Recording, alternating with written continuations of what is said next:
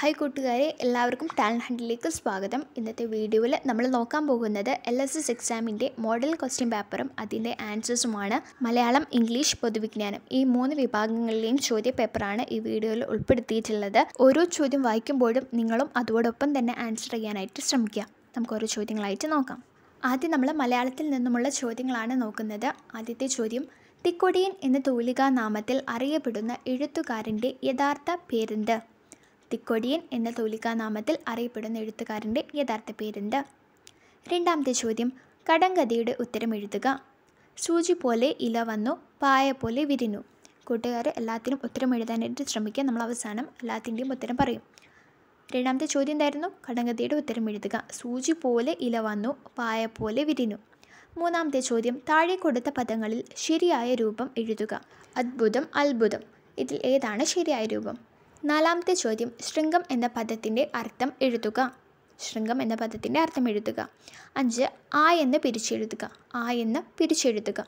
ആറാമത്തെ ചോദ്യം ആപത്തിൽ അകപ്പെട്ട ഫലവാന് നിസ്സാരനും ഉപദ്രവിക്കും എന്നതിന് യോജിച്ച പഴഞ്ചൊല്ല് താഴെ കൊടുത്തവയിൽ ഏത് ഇവിടെ നമ്മൾ ഓപ്ഷനിൽ നിന്നാണ് തിരഞ്ഞെടുക്കേണ്ടത്. എ ചേറ്റിൽ തല്ലിയാൽ നീളെ തെറിക്കും. ബി ചോരയും ചോറും മറക്കരുത്. സി ചേറ്റിൽ പുതന്ന ആനയെ കാക്കയും കുത്തും. ഡി ജന്മം വിറ്റ് ജയം കൊണ്ടാടണം. ഇതിൽ ഏതാണ് ശരിയായത്? ഏഴാമത്തെ ചോദ്യം നോക്കാം. നവസമൃദ്ധ കേരളം നവവിബുദ്ധ കേരളം വികജ വീര കേരളം വിധത്വ കേരളം ഈ വരികൾ ആരുടേത്? ഉള്ളൂർ വയലാർ പി കുഞ്ഞിരാമൻ നായർ കാവാലം നാരായണ പണിക്കർ. ഇതിൽ ആരുടേതാണ് തന്നിരിക്കുന്ന വരികൾ? എട്ടാമത്തെ ചോദ്യം താഴെ കൊടുത്തിട്ടുള്ളവയിൽ തെറ്റായ ജോഡി ഏത്? ഇവിടെ തെറ്റായ ജോഡിയാണ് ചോദിച്ചിട്ടുള്ളത്. മഗ്ദലന മറിയം വെള്ളത്തോൾ ഭാഷാ നാടകം പണ്ഡിറ്റ് കെ പി കറുപ്പൻ ചെണ്ടാൽ അഭിഷുകി വെള്ളൂർ ചെറുശ്ശേരി കൃഷ്ണഗാഥ. ഇതിൽ ഏതാണ് തെറ്റായ ജോഡി ഒൻപത് ശരിയായ ചിഹ്നം ചേർത്ത വാക്യം എടുത്തെഴുതുക. ഇവിടെ നാല് ഓപ്ഷൻ കൊടുത്തിട്ടുണ്ട്. അതിൽ ശരിയായ ചിഹ്നങ്ങൾ ചേർത്ത വാക്യമാണ് നമ്മൾ എഴുതേണ്ടത്. നീ കേട്ടില്ലേ ഞാൻ ചോദിച്ചത്? എനിക്കൊക്കെ ചെറിയ മൂക്കാണല്ലോ. നീ കേട്ടില്ലയോ ഞാൻ ചോദിച്ചത്? എനിക്കൊക്കെ ചെറിയ മൂക്കാണല്ലോ. ഇതുതന്നെയാണ് നാല് ഓപ്ഷനിലും ഉള്ളത്. പക്ഷേ ഇതിലെ ചിഹ്നങ്ങൾക്ക് വ്യത്യാസം വരുന്നുണ്ട്. പത്താമത്തെ ചോദ്യം. സാധാരണക്കാരന്റെ കഥകളി എന്നറിയപ്പെടുന്ന കലാരൂപം ഏത്? സാധാരണക്കാരന്റെ കഥകളി. തെയ്യം പടയണി ഓട്ടൻതുള്ളൽ ചാക്യാർകൂത്ത്. പതിനൊന്നാമത്തെ ചോദ്യം. താഴെ കൊടുത്ത കവിത വായിക്കുക. ഇവിടെ നമുക്ക് കല്ലറ അജിയന്റെ അന്തിച്ചന്തം എന്ന് പറയുന്ന ഒരു കവിത കൊടുത്തിട്ടുണ്ട്. സ്വർണമുരുക്കിയൊഴിച്ച പോലെ പൊക്കുവെയിലെങ്ങും പരന്നല്ലോ അന്തിക്കിതയ്ക്കൊരു ചന്തമയ്യ.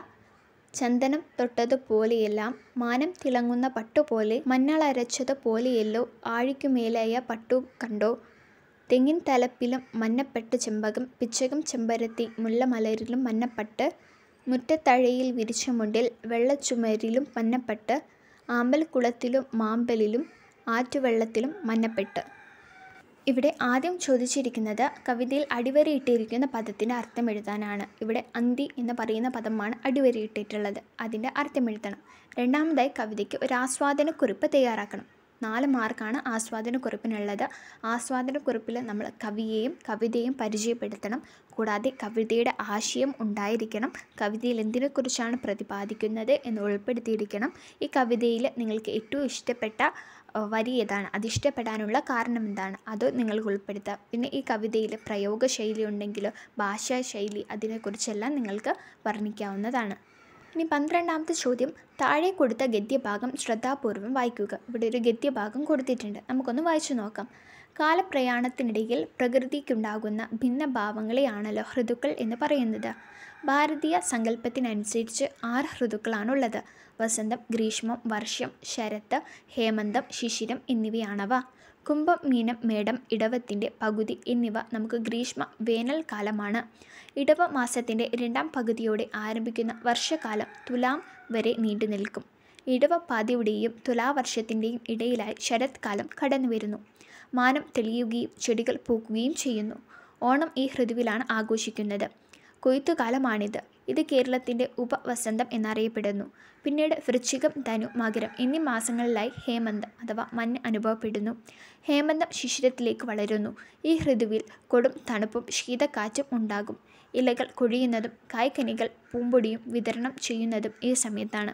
ഗ്രീഷ്മത്തിന്റെ തൊട്ടു മുന്നിലോ തുടക്കത്തിലോ വസന്തം കേരളത്തിൽ കടന്നു വരുന്നു വൃക്ഷങ്ങൾ തളിർക്കുകയും പൂക്കുകയും അപ്പോഴാണ് ഇതിൽ ആദ്യം നമ്മളോട് ചോദിച്ചിരിക്കുന്ന ചോദ്യം എന്താണ്?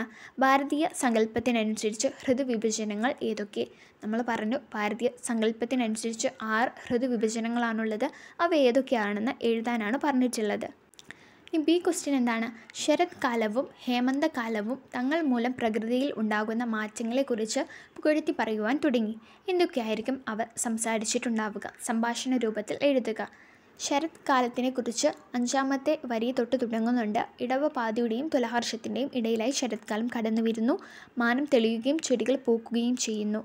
ഓണം ഈ ഋതുവിലാണ് ആഘോഷിക്കുന്നത്. കൊയ്ത്തുകാലമാണിത് കേരളത്തിലെ ഉപവസന്തം എന്നറിയപ്പെടുന്നതും ശരത്കാലമാണ് ഇതൊക്കെയാണ് ശരത് കാലത്തിനെ കുറിച്ച് നിങ്ങൾക്ക് ആ ഒരു കോൺവേഴ്സേഷനിൽ ആ ഒരു സംഭാഷണത്തിൽ ഉൾപ്പെടുത്താനായിട്ട് സാധിക്കുന്നത്. ഇനി ഹേമന്തത്തിനെ കുറിച്ച് നിങ്ങൾക്ക് എന്തെല്ലാം പറയാം? ഹേമന്തം ശിശിരത്തിലേക്ക് വളരുന്നു. ഹേമന്തകാലത്താണ് കൊടും തണുപ്പും ശീതകാറ്റും ഉണ്ടാവുക. ഇലകൾ കൊഴിയുന്നതും കായ്കനികൾ പൂമ്പൊടിയും വിതരണം ചെയ്യുന്നതും ഈ സമയത്താണ്. ഇതൊക്കെ ഹേമന്തവുമായി ബന്ധപ്പെട്ട കാര്യങ്ങളാണ്. ഇതെല്ലാം നിങ്ങൾക്ക് സംഭാഷണത്തിൽ ഉൾപ്പെടുത്താം. ഇനി നമുക്ക് എല്ലാറ്റിന്റെയും ഉത്തരം നോക്കാം. ആദ്യത്തെ ചോദ്യം തിക്കോടിയൻ എന്ന തൂലികാ നാമത്തിൽ അറിയപ്പെടുന്ന എഴുത്തുകാരൻ ആരായിരുന്നു എന്നാണ്. പി. കുഞ്ഞനന്ദൻ നായരാണ് തിക്കൊടിയൻ എന്ന തൂലികാ നാമത്തിൽ അറിയപ്പെടുന്നത്. രണ്ടാമത്തേത് സൂചി പോലെ ഇല വന്നു പായ പോലെ വിരിഞ്ഞു ഈ കടങ്കഥയുടെ ഉത്തരം വാഴ ആണ്. മൂന്നാമത്തേത് ശരിയായ പദം തിരഞ്ഞെടുക്കാനായിരുന്നു. അത്ഭുതമാണ് ശരിയായിട്ടുള്ളത്. അടുത്തത് ശൃംഗം എന്ന പദത്തിന്റെ അർത്ഥം എഴുതാനായിരുന്നു. ശൃംഗം എന്നാൽ കൊടുമുടി അഥവാ ഉയർന്നത് എന്നൊക്കെ അർത്ഥമുണ്ട്.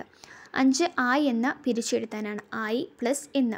ആറാമത്തെ ചോദ്യം ആപത്തിൽ അകപ്പെട്ട ബലവാനി നിസാരനും ഉപദ്രവിക്കും എന്നതിന് യോജിച്ച പഴഞ്ചൊല്ല കണ്ടെത്താനായിരുന്നു. ചീറ്റിൽ ബുധന് ആനയെ കാക്കയും കൊത്തും. അതാണ് യോജിച്ച പഴഞ്ചൊല്ല. ഏഴാമത്തെ ചോദ്യം നവസമൃദ്ധ കേരളം നവവിഭുത കേരളം വികസിച്ച വീര കേരളം വിദത വിശ്വ കേരളം. ഈ വരികൾ ആരുടേത് എന്നാണ് ചോദിച്ചത്. വി. കുഞ്ഞിരാമൻ നായരുടേതാണ് ഈ വരികൾ. എട്ടാമത്തേത് തെറ്റായ ജോഡി കണ്ടെത്താനാണ് ചെണ്ടാൽ അഭിഷേകി ഉള്ളൂർ. ഇതാണ് തെറ്റായ ജോഡി.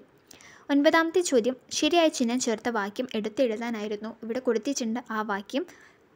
ഓപ്ഷൻ സി ആണ് ശരിയായിട്ടുള്ളത്. ഇനി പത്താമത്തെ ചോദ്യം സാധാരണക്കാരന്റെ കഥകളി എന്നറിയപ്പെടുന്ന കലാരൂപം ഏത് എന്നായിരുന്നു. സാധാരണക്കാരന്റെ കലാരൂപം എന്നറിയപ്പെടുന്നത് ഓട്ടം തുള്ളലാണ്. തുള്ളൽ പ്രസ്ഥാനത്തിന്റെ ഉപജ്ഞാതാവ് കുഞ്ചൻ നമ്പ്യാരാണ്.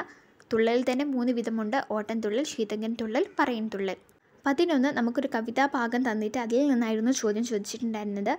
അതിൽ ആദ്യത്തെ ചോദ്യം കവിതയിൽ അടിവരയിട്ടിരിക്കുന്ന പദത്തിന്റെ അർത്ഥം എഴുതാനായിരുന്നു. അന്തി എന്നായിരുന്നു ആ പദം. അന്തി എന്ന പദത്തിന്റെ അർത്ഥം സന്ധ്യ എന്നാണ്. രണ്ടാമതായിട്ട് ആസ്വാദനക്കുറിപ്പ് തയ്യാറാക്കാനായിരുന്നു. ആസ്വാദനക്കുറിപ്പിൽ നമ്മൾ പറഞ്ഞതുപോലെ കവിയും കവിതയും പരിചയപ്പെടുത്തണം. കവിതയുടെ പ്രമേയം ഉണ്ടാവണം. ഈ കവിത നിങ്ങൾക്ക് ഇഷ്ടമായോ? ഇഷ്ടമായെങ്കിൽ അതെന്തുകൊണ്ട് എന്നുൾപ്പെടുത്തണം ഏറ്റവും ഇഷ്ടപ്പെട്ട ഭാഗം ഏത്? എന്തുകൊണ്ട് എന്നുൾപ്പെടുത്തണം നിങ്ങളുടെ നിരീക്ഷണങ്ങളും ആസ്വാദനക്കുറിപ്പിൽ ഉണ്ടായിരിക്കണം. ഇനി പന്ത്രണ്ടാമത്തെ ചോദ്യം എന്ന് പറയുന്നത് നമുക്കൊരു ഗദ്യഭാഗം തന്നിട്ട് അതിൽ നിന്നുള്ള ചോദ്യങ്ങളായിരുന്നു. അതിൽ ആദ്യത്തെ ചോദ്യം ഭാരതീയ സങ്കല്പത്തിനനുസരിച്ച് ഋതുവിഭജനങ്ങൾ ഏതൊക്കെ? ആറെണ്ണമുണ്ട്. വസന്തം ഗ്രീഷ്മം വർഷം ശരത്ത് ഹേമന്തം ശിശിരം. രണ്ടാമത്തെ ചോദ്യം ശരത്തും ഹേമന്തും. ശരത്കാലവും ഹേമന്തകാലവും തമ്മിലുള്ള സംഭാഷണം ആയിരുന്നു. സംഭാഷണത്തിൽ നമ്മൾ കഥാപാത്രങ്ങളുടെ വ്യക്തിത്വത്തെക്കുറിച്ചുള്ള ധാരണ ഉണ്ടായിരിക്കണം ഭാഷാപരമായ മികവുണ്ടായിരിക്കണം സന്ദർഭവുമായി ബന്ധം വേണം നമ്മൾ എഴുതുന്നതിൽ പിന്നെ സംഭാഷണത്തിന്റെ തുടർച്ച ഉണ്ടായിരിക്കണം. ഈ കാര്യങ്ങളൊക്കെയാണ് സംഭാഷണം എഴുതുമ്പോൾ നിങ്ങൾ ശ്രദ്ധിക്കേണ്ടത് നാല് മാർക്കിന്റെ ചോദ്യമാണ്. ഇനി നമുക്ക് ഇംഗ്ലീഷിൽ നിന്നുള്ള ചോദ്യങ്ങൾ നോക്കാം. പതിമൂന്നാമത്തെ ചോദ്യം read the passage and answer the question ഇവിടെ തന്നിരിക്കുന്ന പാസേജ് വായിച്ച് താഴെ തന്നിരിക്കുന്ന ചോദ്യങ്ങൾക്ക് ഉത്തരം എഴുതാനാണ്. Pingala was talking with his friends Pingala അവന്റെ കൂട്ടുകാരായിട്ട് സംസാരിക്കുകയായിരുന്നു. Suddenly he got a paper from the floor പെട്ടെന്ന് അവന് തറയിൽ നിന്ന് ഒരു പേപ്പർ കിട്ടി. It was written by the minister അത് മന്ത്രി എഴുതിയ ഒരു പേപ്പറായിരുന്നു ഹി റീഡ് ദി ഹെഡിങ് അവൻ അതിന്റെ തലക്കെട്ട് വായിച്ചു. ദ വർ ട്വൽവ് ലെറ്റേഴ്സ് അതിന് പന്ത്രണ്ട് അക്ഷരങ്ങളുണ്ടായിരുന്നു. But it was not clear പക്ഷേ അത് വ്യക്തമായിരുന്നില്ല. What would be the twelve letters ആ പന്ത്രണ്ട് ലെറ്റേഴ്സ് എന്തായിരിക്കും? But it was not clear പക്ഷേ അത് വ്യക്തമായിരുന്നില്ല. What would be the twelve letter word written by the minister ആ മന്ത്രി എഴുതിയിട്ടുള്ള ആ പന്ത്രണ്ട് അക്ഷരമുള്ള വാക്ക് എന്തായിരിക്കും? അത് നമ്മളോട് എഴുതാനാണ് പറഞ്ഞിട്ടുള്ളത്. ട്വൽവ് ലെറ്റേഴ്സ് ഉള്ള ആ പാഠവുമായി ബന്ധപ്പെട്ട ഒരു വേർഡാണ് ഇവിടെ നമ്മൾ എഴുതേണ്ടത്. കൂട്ടുകാരൊന്ന് ചിന്തിച്ച് എഴുതാനായിട്ട് ശ്രമിക്കുക. ഇതിൽ B question rearrange the following words and make meaning sentence ഇവിടെ കൊടുത്തിരിക്കുന്ന വാക്കുകൾ അങ്ങോട്ടും ഇങ്ങോട്ടൊക്കെ റീ അറേഞ്ച് ചെയ്ത് കഴിഞ്ഞിട്ടുണ്ടെങ്കിൽ നിങ്ങൾക്ക് ഒരു അർത്ഥമുള്ള സെന്റൻസ് കിട്ടും. ഇവിടെ തന്നിരിക്കുന്ന വേർഡ്സ് ഏതൊക്കെയാണ്? Toys child the fascinated was by ഇതിലെ സി ക്വസ്റ്റ്യൻ ആണ്. മാച്ച് ദി ഫോളോവിങ് ഇവിടെ നമുക്ക് രണ്ടാക്കി തിരിച്ചൊരു ടബിൾ കൊടുത്തിട്ടുണ്ട്. അതിനെ മാച്ച് ചെയ്യാനാണ് പറഞ്ഞിട്ടുള്ളത്. എ കോളത്തിൽ കൊടുത്തിരിക്കുന്നത് എന്തൊക്കെയാണ്? ബൊക്കറ്റ് സീഡ് കൾട്ടിവേഷൻ ബി കോളത്തിൽ ഫാമ ഫ്ലവർ സ്പ്രൗട്ട് ഇനി നമുക്ക് ഫോർട്ടീൻത്ത് ക്വസ്റ്റ്യൻ നോക്കാം. Make a meaning full word from the given letters ഇവിടെ കൊടുത്തിരിക്കുന്ന ലെറ്റേഴ്സ് ഉപയോഗിച്ചിട്ട് ഒരു മീനിങ് ഫുൾ ആയിട്ടുള്ള വേർഡ് എഴുതാനാണ് പറഞ്ഞിട്ടുള്ളത്. ലെറ്റേഴ്സ് ഏതൊക്കെയാണ്?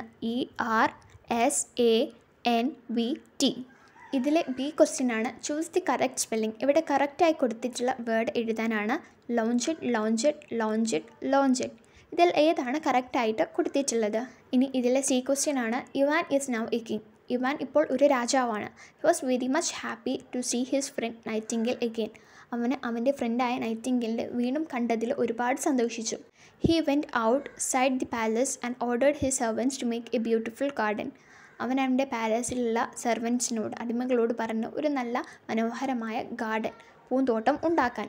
Ivan started thinking about his dream garden Ivan അവന്റെ സ്വപ്ന പൂന്തോട്ടത്തെക്കുറിച്ച് ആലോചിക്കുവാനായിട്ട് തുടങ്ങി. ഡിസ്ക്രൈബ് ദി ഗാർഡൻ ആ ഗാർഡനെ വിവരിക്കാനാണ് പറഞ്ഞിട്ടുള്ളത്. അപ്പോൾ നിങ്ങൾക്ക് എന്തെല്ലാം കാര്യങ്ങൾ ഉൾപ്പെടുത്താം? It is a beautiful garden there are so many trees there are beautiful flowers there is a small pond inside the garden it is full of fishes there are small bushes around the ponds അങ്ങനെ നിങ്ങൾക്ക് എന്തൊക്കെയാണ് നിങ്ങളുടെ മനസ്സിൽ ഒരു ഗാർഡനെ കുറിച്ച് തോന്നുന്നത്? അതൊക്കെ നിങ്ങൾക്ക് വളരെ രസകരമായ രൂപത്തിൽ അവതരിപ്പിക്കാവുന്നതാണ്. ഇനി നമുക്ക് ആൻസേഴ്സ് നോക്കാം. തേർട്ടീൻത്ത് ക്വസ്റ്റ്യന്റെ എ ആൻസർ അനൗൺസ്മെന്റ് ആണ്.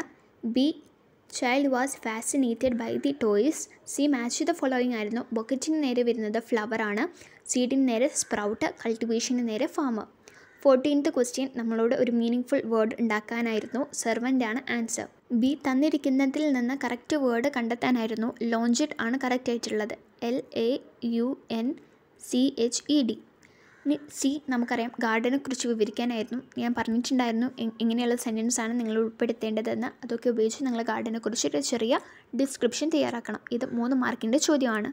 ഇനി പൊതുവിജ്ഞാന വിഭാഗത്തിലെ ചോദ്യങ്ങൾ നോക്കാം. പതിനഞ്ചാമത്തെ ചോദ്യം. രണ്ടായിരത്തി പത്തൊൻപത് എഴുത്തച്ഛൻ പുരസ്കാരം ലഭിച്ചത് ആർക്ക്? Akkitham V G James E V Ramakrishnan P Sachidanandan. പതിനാറ്. ഇന്ത്യയുടെ ഇപ്പോഴത്തെ സുപ്രീം കോടതി ചീഫ് ജസ്റ്റിസ് ആര്? Deepak Mishra Indira Banerjee S A Bobde Ranjan Gogoi. ആരാണ് ഇന്ത്യയുടെ ഇപ്പോഴത്തെ സുപ്രീം കോടതി ചീഫ് ജസ്റ്റിസ്? പതിനേഴ് ആതിരപ്പള്ളി വാഴച്ചാൽ വെള്ളച്ചാട്ടം സ്ഥിതി ചെയ്യുന്ന ജില്ല ഏത്?